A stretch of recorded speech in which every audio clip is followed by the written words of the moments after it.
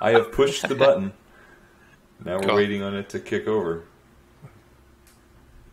And see, I learned I have to actually refresh this thing because for some reason, sometimes the stream will just continue playing whatever source it was playing. And now it's music. Still music. It's- it's- it's- it's. Still, oh, oh, oh, oh, that's looking good. Hey, there's a bunch of faces. All right. Hello, DEF CON. Welcome to your early morning Sunday content. Um, my name is Fallible. We have got uh, Jutral here. Uh, joining us from the speaker side is Mickey and Jesse with their uh, the Q and A portion for their talk of bites in disguise. So I want to. Uh, oh, hold on. Before I do this, I have one more button I have to push on my side. Okay.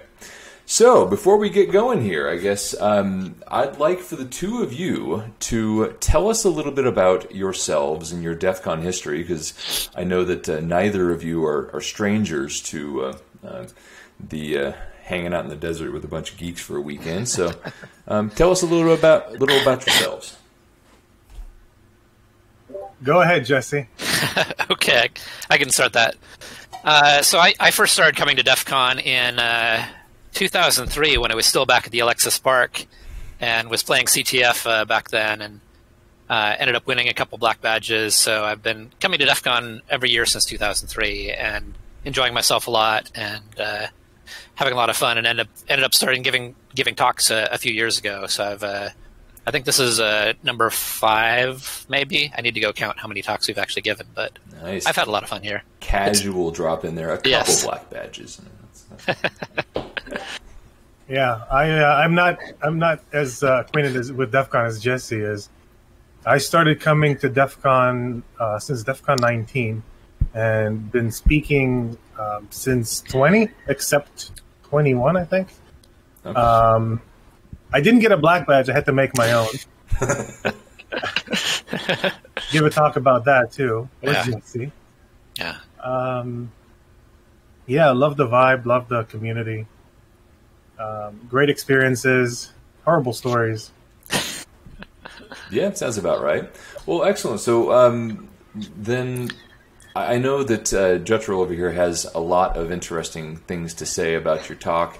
I have some interesting things to say about your talk, but I'm not into the niche that you uh, you you occupy. So um, I will be watching for some of the questions that come in, and uh, maybe we'll have uh, my fellow goon ask our initial question while I while I watch our channels. Sure. Yeah. So for me, I I, I watched the talk. Right. I, I thought it was kind of cool. Uh, just the number of different places, right, that you could actually hide information. And uh, like the joke I was saying is like you've literally covered everything from like, hey, you need to wear a wrist strap when you go into this, to you know Google hacking. Like just run these searches and get this information. To you know here's how to write the random chips and and you know code release. Um, I guess like so quick 30 seconds. Like what? I guess what's the if someone hadn't seen the talk yet, how would you recap everything for them? What are the high points? Not not wearing a wrist strap. No, no, it's great. Like, let's let's let's do a thirty second recap for an hour talk. Um, What's the best part they should look out for? Why should they go and watch it? the demo music. The demo music, great. yeah, that was I, I, yeah the bossa nova thing. Well done. No, no. Yeah, so so really, I mean, like, guys, what inspires you to take like such a complete look at the attack surface, right? Like, how did you think to start to look at all these different ways that you could go after devices? You, you want to take that? Take that, Mickey, or uh, should Well, we both have we both have Yeah. similar perspectives, but they're slightly different. Um, what got us into this? Well, I'd say we got tired of getting caught. so when, when we do the red team exercises or whatnot, and we want to hide our payloads, and we always get caught, and you know, hiding in memory and, and on, on disk and all kinds of locations.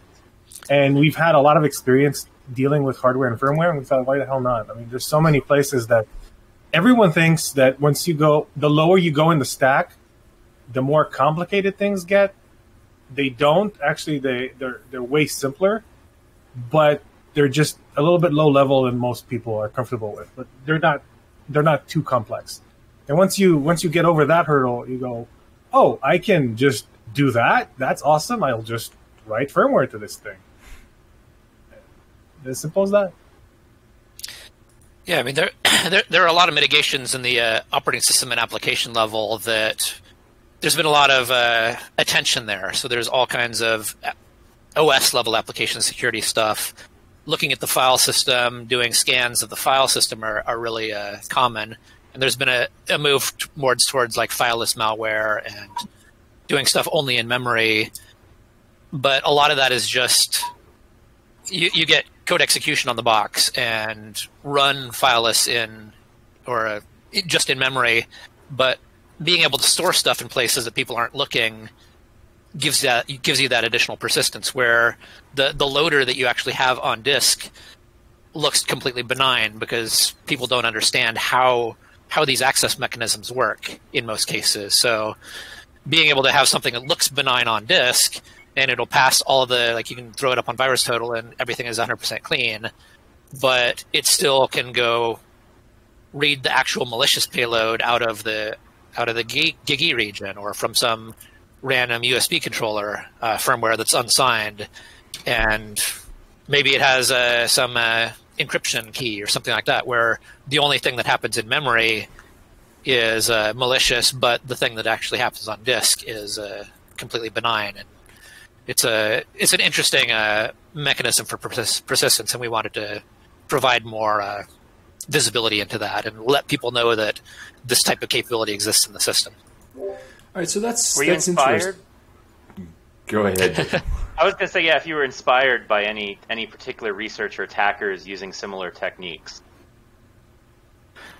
Uh, I mean, there, there's there's generally been like like I said, there's been all this uh, research and and attackers in the operating system space, and attackers have started moving down in the stack. Like we've seen UEFI implants. Uh, there was like a LoJax implant. Uh, there were some other ones that were found in the wild.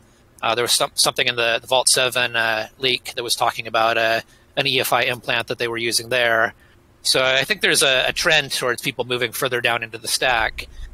And mm. a lot of these firmware components at those lower levels in the stack don't have all those same hardening pr- protections that the, the application and operating system has. So you don't have things like code signing protecting your firmware in the stack or firmware in the, some of these devices. A lot of these are uh, lower cost, lower power devices that maybe they don't have like a nice crypto engine built into this uh, chipset. So a lot of that is lagging behind just because there isn't this additional visibility and people going after these components. And uh, it's a it's an area that's ripe for uh, exploration and exploitation. And like we talked about in our talk uh, some friends of ours gave a, a, talk about doing this type of thing using UEFI variables. And we were like but wait there's more so let's let's go out some the, after some of these other areas so that was kind of the inspiration for this talk so that a lot of what you're saying is really interesting. I work uh, way higher. I'm I'm kind of in the website usually, and yeah. there's a lot of things that have happened over the years in the website that make it harder-ish to do a yeah. lot of the, the, web hacking world. Um, it yeah. sounds like there's maybe less because there's less people working in the space of attacking low level. Are there less mitigations that are that that I would run across if I got into it? Uh, that that depends. I mean, it is lagging behind to some degree. There are some, so like pe- people, depending on what what people's uh, understanding. Like you, you said, you work in the web space, so like you you may, may be familiar with web stuff. Like people can talk about like a, a full stack, and there's there's the full stack of like the like the the the web stuff that's externally facing going down to a lot of these underlying levels of the operating system, and you can get down to the point where you end up looking at like bugs in CPU microcode that have uh, side channel implications, and there's a lot of different vulnerabilities all throughout that stack, and there's been a lot of effort to do the easier stuff that's more directly exposed to the user, but there are some of these underlaying things some of these foundational technologies that everything is built on top of that are kind of lagging behind those uh, exploit mitigations where like when the, when the system powers on and boots up the, the the processor starts executing code at the reset vector. It used to be the case that this was bios where there was no protections whatsoever there then people have standardized on UEFI where there's the UEFI firmware that executes and a lot of that is they're adding protections there but a lot of the times when the UEFI firmware is running there aren't things like address randomization. Sometimes the stack and heap are fully executable. A lot of those mitigations that you're totally used to in the operating system and application space aren't there.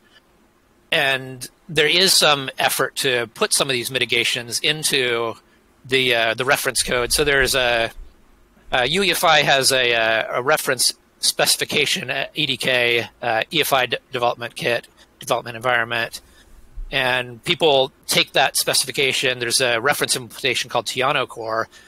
Some of these uh, exploit mitigations are going into Tiano Core, but there's whole this whole big uh, supply chain for getting those out to actual customer systems. So there's reference code in Tiano Core that then independent vendors like AMI Phoenix uh, inside take that code, add their own special sauce.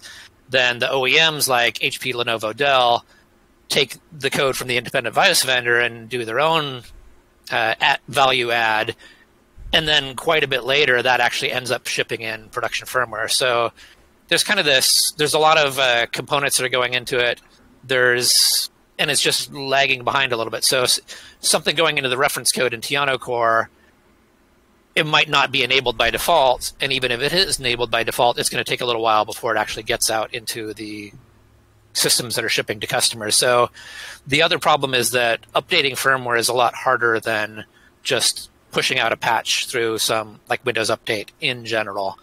Uh, so there's they've tried to standardize on firmware updates for system firmware to some degree, but a lot of different vendors are doing things differently, and that isn't fully easy to do yet. And so there's there's the the system firmware for your device, the UEFI firmware, but there's also all the firmware for all the, for all these embedded controllers, like the S Media controller that Mickey talked about, and uh, the there's a GigE controller that's as part of the Intel PCH chipset that we can write to the to that region.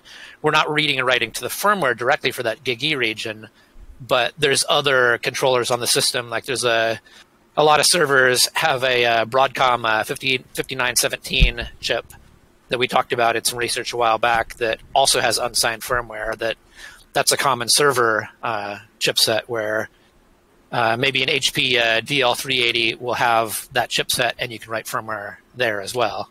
Sorry, I kind of rambled a lot. Did you no, want to say? I need to I need to change my background after that. yep. Yep. That's pretty much it summarizes whatever what everything Jesse talked about.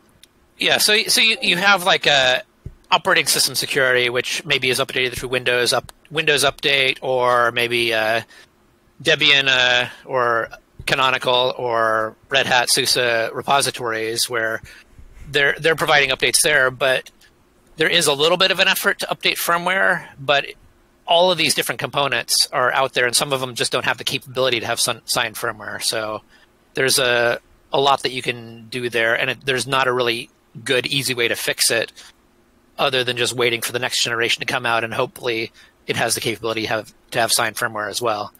Sometimes they'll have checksums and stuff like that, but it's that's not a security mechanism, and it's pretty easy to, to bypass and recalculate a checksum. Excellent. I, there's a there's a lot there, and I'm sure that I'll be watching through uh, this talk later to to make sure I get more of what you just said. Uh, we do have some questions coming in from the audience, so I'm going to get to one cool. of those. Awesome. Um, so RPTK to 2015 says, question, do you know of a way to write some code into one of the various EEPROMs that will be capable of executing code by itself without code in the disk? Yeah, I mean that that depends on the the capabilities of the specific device. But as an example, like there's all the the rubber ducky bad USB devices where a lot of uh, uh, flash controllers or flash devices uh, use an 8051 processor as part of the controller, and you can write firmware to that and have that essentially uh, act as a keyboard and inject keystrokes, mass storage, stuff like that. So if you have if you have the ability to update firmware depending on the capabilities of the device, if it's a an internal USB device, it might have the ability to essentially act as a rubber ducky and execute code and basically restage back from the uh, the device. Uh, we we had given a a, a talk a, a, number of years ago, also at DEF CON, about a uh, internal uh, Huawei LTE modem that we were able to update the firmware for that. And this was an internal device. Uh, basically, was in an M2 uh, card that was connected to the rest of the system over a USB interface, and it essentially was running a a version of Android with the Android gadget interface inside of this little M2 card. So it was a complete Linux distribution inside of the USB device inside of your laptop or tablet. So you could essentially update the firmware there and have your payload there. The cool thing about that one is that you can have that inject keystrokes back to your tablet or laptop, and it also had a cellular connection, so you could do a, a CNC out to AWS. So that was a fun talk also that was a few years ago at DEF CON. So yes, you definitely have the capability where if you can update the firmware for the device, depending on the capabilities of the device, you ha- might have the ability to uh, directly attack it again without doing uh, without needing that uh, loader within the operating system that's on disk in the in the file system. Additionally, if you have like a PCI device, you could potentially do DMA attacks against the system and do that same type of uh, capability. Sometimes uh, sometimes the operating system has DMA protections, but the boot process doesn't, and you can do an injection into the boot process while the system is booting up. Uh, there was a quick follow-up question on uh, that from the same user cool. of did you uh, yeah. did you use this in an assessment? Well, we uh, we uh, we don't work as consultants or, or red teamers. We, not not currently. So we, we, we were on we were on a red team, and uh, we've since moved to different positions, doing more hardware and low level security. And it was like this is the type of thing that we would have wanted uh, while while we were still actively red teaming, but we haven't specifically used this on a on an engagement. Just uh, proof of concepts and, and playing around with our own systems. We've heard others use the yes. spy trick in an engagement. Yes. But um, not the rest of it. The rest of it is just it's so many options. We haven't had a chance to try them all. That's the kind of the problem across the space, isn't it? There's a, a target-rich environment. Yeah. So, yeah. um, while I read this next question in my head, let's see. Um, so we'll just go right into it. It was. Um, this is from. It was like this when I found it. So the demo jumps right into, and here's this stuff, and we can write and read to it. Isn't this cool? And the natural is, it is, it totally is, plus one for elevator music. Um, any more pointers on enumerating access methods for these things? White papers? I presume you're not um, using physical methods, JTAG, or in circuit programming, so Point three, what APIs functions are you using for this kind of thing in general? It seems like you could drop stuff into legit update image and flash it, but it looks like this is on the fly. So a couple of uh, I can go go through the the TLDR of that. Uh, this, we can answer that. Well, it's going to take 15 minutes, but I'm going to jump, jump right at it. So there are certain um, tools you can use to flash uh, a pre pre infected image. Like you can modify the legitimate image and then use the the provided tool by the vendor to send it to the device and have the device flash it to the to its image. Um, so, there, there, there, was another way where where we used uh, the one of the code releases was uh, actual talking directly to the SPI controller in the computer. So just you're itching to say something, so go ahead. I, I, I just wanted to point out that uh, if you haven't taken a look at it, we do have a sample code up on GitHub now. Uh, basically, uh, GitHub uh, hacking things slash bytes in disguise that shows how some of this code works. Where I will beg you after this thing to post that GitHub to the Track One channel, but go ahead. Okay.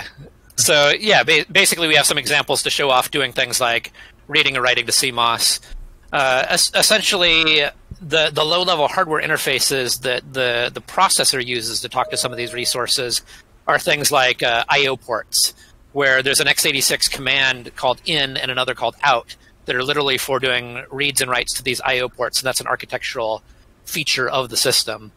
Uh, there's also a PCI uh, access where you can do uh, PC, uh, you can do I/O port read and write to I/O ports CF8 and CFC in order to do what's called legacy PCI access. Uh, and then there's also what's called M- uh, memory mapped I/O, where if you can read and write to specific physical memory addresses in the system, you can basically talk to these uh, PCI devices through the PCI controller.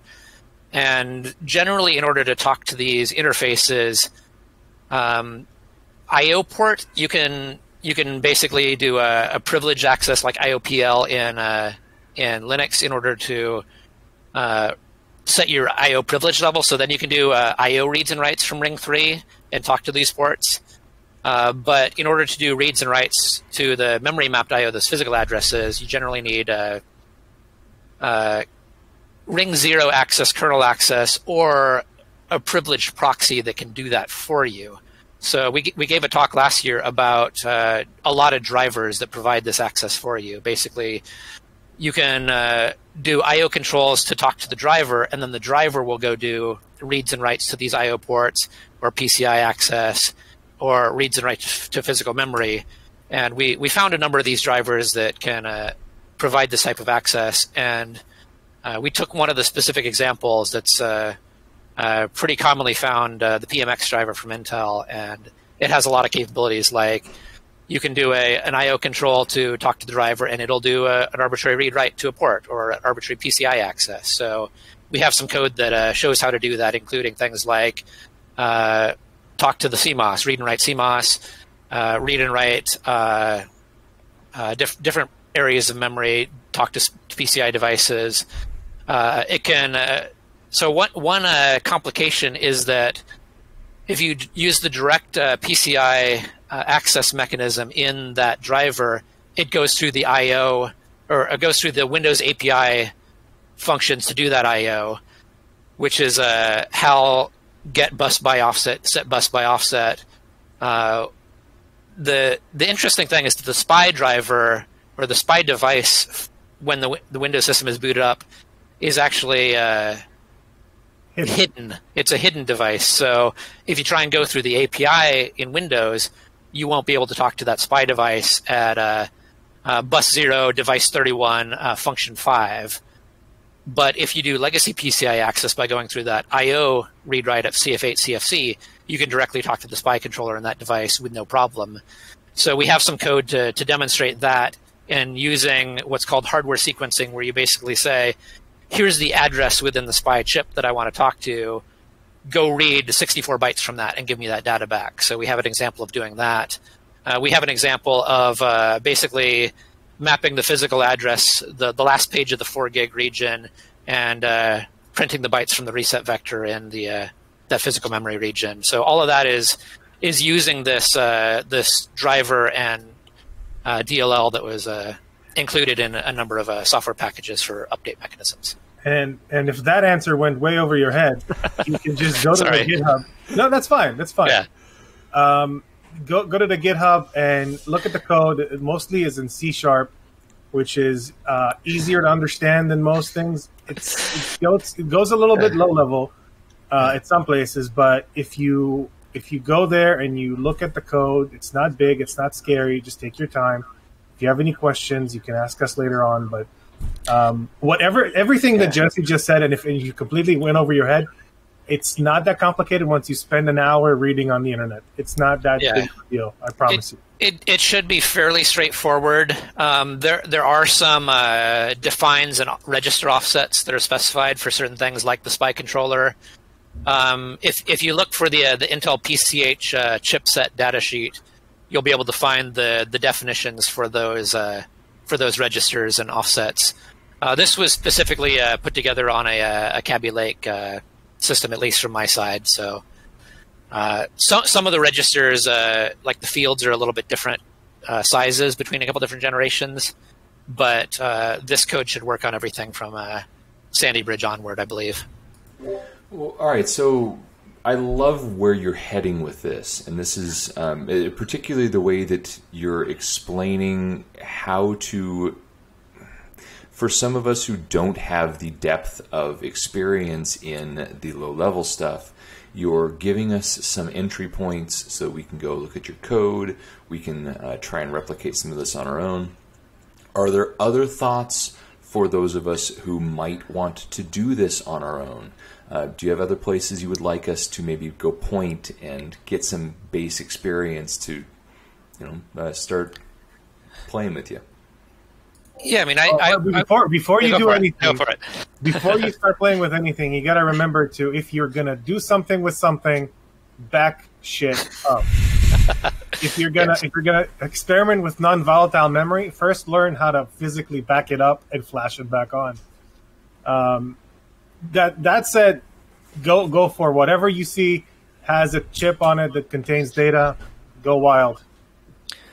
Yeah, to, to follow up on that, there there are some things you can do, like writing to some locations in your system where the system won't boot anymore. So you'll you'll need to like physically open the case. Uh, in, the case of like rights to the to uh, just bare spy chips that are that are easily accessible, like the the BIOS or UEFI firmware or BMC firmware in a server.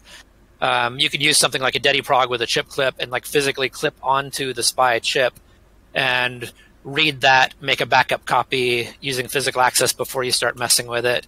Uh, there, there's also like uh, you can use a bus pirate to do like spy read and write if you don't have a DediProg, but you can often find a DediProg on eBay for like fifty bucks or so.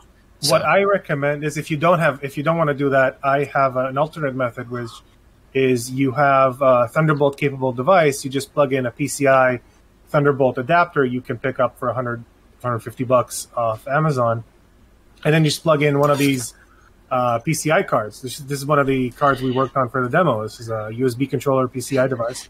It has its own EEPROM, and if you mess it up, it's 15 bucks. Is, is isn't that the writing to, but was not the the controller you actually writing to? Yeah, this is the same controller that I thought I was writing to, but apparently I had one in my motherboard that I've been reading and writing to. So yeah, So yeah, be, be careful about doing that. It's it's nice if you can just like pull out the PCI card and and uh, your system boots again, but it's a good point. Remember, sometimes it's more difficult. remember to check you don't have your target already in your computer before you start flashing it. This is all great advice. All right, gentlemen, we are right at the end of our allotted time. Um, you two are incredibly easy to talk to about this stuff, so uh, we appreciate that. Um, I like to provide everybody an opportunity to distill a takeaway. What is the, the call to action you would like to provide for the community who is watching this? Yeah, I, I would just start out by saying like th- this might seem intimidating and difficult to get into, but it's really a lot easier than you think. And if you just start experimenting with this th- case it, and do some of this yourself, it's actually a lot of fun and it's not as hard as it might initially seem. So we have some code examples you can get to. Uh, like I mentioned, the the Intel PCH uh, chipset datasheet. It's a pretty big document, but uh, if you just look at certain things like the spy controller uh, registers, it can give you, it can help you, help guide you and get you started. So I'd totally recommend people to go. Uh, don't be intimidated by this and just try it out and see what you can do. I'm just going to add that uh, um, th- feel free to ask other people Yes. uh, for advice. And uh, I'm just going to caveat this with if you ask me for advice, I will gladly help you under the condition that you help others if they ask you. So don't be an asshole. Help others. This is the point of community. yeah. That is one of the best uh, takeaways that I've heard so far. So you have a, uh, a whole series of people in chat uh, wanting to buy you drinks next time they see you in person. uh, well, thank you two very much for coming and providing another deep um, load of content for uh, DEF CON and, and all, the, all that you do for us. So if anybody has additional questions, I'm going to see if I can get these two to post um, more of their contact information in the Track One channel, so that uh, people you can uh, so that people can find you later. Other than that, I hope you have a wonderful rest of your con, and um, that's pretty much it. Cool. Thank you. Thank you both. Thank you.